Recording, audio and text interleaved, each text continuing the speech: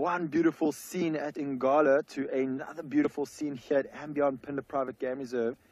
Ladies and gentlemen, we have found one of the smallest rhinos I have ever seen as a guide. Now, you might not be able to see it at the moment. So, oh, there we go. You could get a view. Look at that tiny little rhino. It basically looks like a warthog running with them. So you've got a, a female and what is potentially her old calf and her brand new born calf. You'll notice that her tail is up and curled at the moment. That is a sign that she's uneasy. And one could be because she's got her calf, but it is also that there was a large male busy harassing her maybe only two minutes ago.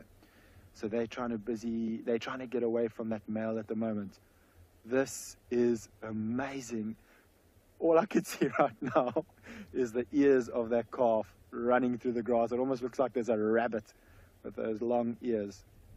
So for those of you who um, have just joined and, and potentially this being the first time,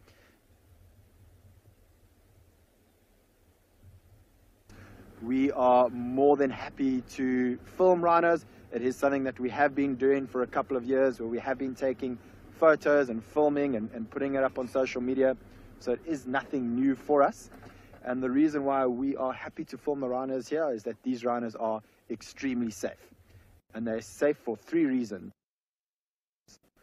One, we have a very good relationship with the community, and so they don't come and poach here. And if there are any poachers coming to the reserve, they let us know. Number two, we've got an excellent anti-poaching team. But oh, you see, she's busy chasing. That's her old calf, and that's our know it's old calf. She's not happy to have an old calf following her. So around the time that she gives birth, she'll be kicking her old calf out um, because that calf could potentially pose some danger towards her young calf. Anyway, and back to why we can film them. And three, and probably most importantly, is that you may have noticed that none of these rhinos had their horn, and we dehorn our rhinos.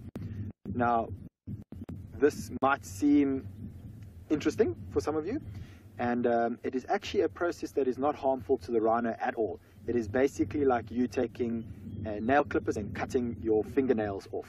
Um, it doesn't harm the rhino.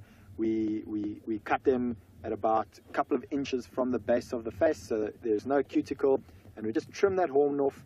And um, what we would use is we have a vet, he comes in, darts the rhino, sedates it, cuts the horn off. The rhino wakes up a couple of minutes later, and I promise you, it wakes up like nothing happened. They'll go straight to feeding within five, ten minutes of waking up, sometimes even sooner than that. And now that we've removed the horn, it has lowered the value of this rhino for poachers. So poachers do not come to &Beyond Phinda anymore to poach for the rhino horn, and that is exactly why we are happy to film them. And I'm excited to film them because now I can educate all of you back home. And I'm sure, just like all the kiddies are excited about seeing this little rhino calf, I am just as excited. It is not something we see very often. How fantastic is this light at the moment? We've got these big grey skinned animals contrasting to the yellow and golden light that is coming off on the top of the grass. I can just see the calf again. Oh, my day has been made. It is a pretty cold morning here, um, but this little calf that we have has most certainly warmed up my morning, and I am in fact feeling warmer just from all the excitement that I have.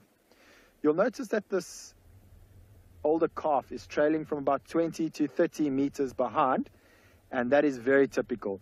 If it gets too close to the mother and the calf, she's going to turn around and she's going to chase it away. And although I, some ways I hope that we don't see it, it is just interesting behavior, and they make quite a strange sound when they do that. They go, Woo! so that was an that was an absolutely terrible impression of a rhino trying to chase away another rhino.